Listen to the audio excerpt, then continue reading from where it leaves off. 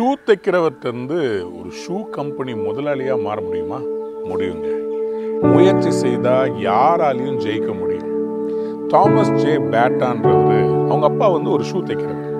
அவங்க அப்பா எதிர்பார்த்தாரு என் மகன் எனக்கு பின்னாடி இந்த ஷூ தைக்கிற தொழிலில் வருவாருன்னு சொல்லிட்டு மகனை பார்த்து சொன்னார். ஏன்னா அவர் ரொம்ப சிக்கா இருந்தார். அப்பாவுக்கு ரொம்ப பலவீனம். ஆனால் இந்த மகன் என்ன பண்ணாரு? அப்பா செய்கிற தொழிலை செய்ய விருப்பம் இல்லை அதனால ரொம்ப மனசு நொந்து போய் அவர் அங்கேயும் இங்கேயும் போயிட்டு இருந்தார். அப்போ ஒரு நாள் அவர் தன்னுடைய பேக் எடுத்துட்டு அவர் தூரமாக போயிட்டு இருக்கும்போது ஒரு அருவிக்கு பக்கத்தில் உட்காந்து கால் வலிச்சதுனால என்ன பண்ணுறதுன்னு தெரியாமல் அந்த அருவியில் வந்துக்கிட்டு இருந்த ரப்பரை எடுத்து அந்த கால் வலிக்காக கொஞ்சம் நிற்கிறதுக்காக என்ன பண்ணாருங்க? ரப்பரில் ஸ்லிப்பர் பண்ணாருங்க.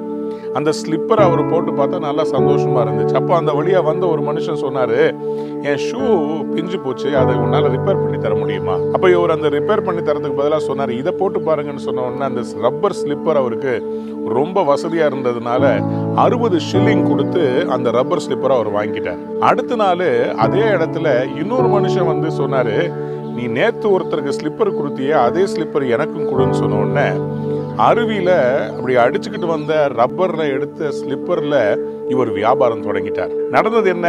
இது ஒரு நல்ல வியாபாரம்னு அறிஞ்சவர் பக்கத்தில் இருக்கிற ஒரு ரப்பர் ஃபேக்ட்ரியிலேருந்து வெளி வருகிற அவருடைய கழிவுகளான அந்த ரப்பரை எல்லாம் எடுத்து அதில் ஸ்லிப்பர் பண்ண ஆரம்பிச்சாருங்க. அதுதான் வந்து புகழ்பெற்ற பேட்டா கம்பெனி ஆயிரத்தி தொள்ளாயிரத்தி நாற்பதுலேருந்து எண்பது வரைக்கும் ரொம்ப ஃபேமஸ் பேட்டான்றது அவ்வளோ ஃபேமஸாக இருந்துச்சு. இன்றைக்கும் நீங்கள் பார்த்தீங்கன்னா பல இடங்களில் இந்த பேட்டா கம்பெனி இருக்குது. இதுக்கு காரணம் ஒரு இளம் வாலிபனுடைய விடாமுயற்சி. தோல்வியை பார்த்தாலும் இந்த தோல்வியில் ஒரு வெற்றிக்கான ஒரு அடையாளம் ஒன்று இருக்கும். உங்கள் லைஃப்லையும் நீங்கள் எல்லாத்தையும் இழந்துடலங்க. உங்களுக்கு இன்னைக்கு ஒரு புதிய ஆரம்பத்தை கொடுக்க விரும்புகிறார் தூக்கி போட்ட வேஸ்ட் ரப்பரில் ஸ்லிப்பர் பண்ணி ஒரு பெரிய கம்பெனியை இந்த பேட்டா கம்பெனிக்கார ஓனரால் செய்ய முடியும்னா உங்களுக்கும் கடவுள் ஒரு நம்பிக்கை இன்றைக்கு வைத்திருக்கிறார். லூக்கா ஒன்றாம் அதிகாரம் ஐம்பத்தி ரெண்டாம் வசனம் சொல்கிறது. பலவான்களை ஆசனங்களிலிருந்து தள்ளி அவர் தாழ்த்தப்பட்டவர்களை உயர்த்துகிறார் என்று வேதம் சொல்கிறது. நான் விசுவாசிக்கிறேன் இன்றைக்கு ஆண்டவர் உங்களுக்கும் நீங்க பெரிய பெரிய கம்பெனியை பார்த்து என்னால் இப்படி ஆக முடியலையே அப்படி ஆக முடியலையேன்னு யோசிக்காதீங்க. ஒரு சின்ன ஐடியா உங்க லைஃபையே மாத்திரும்.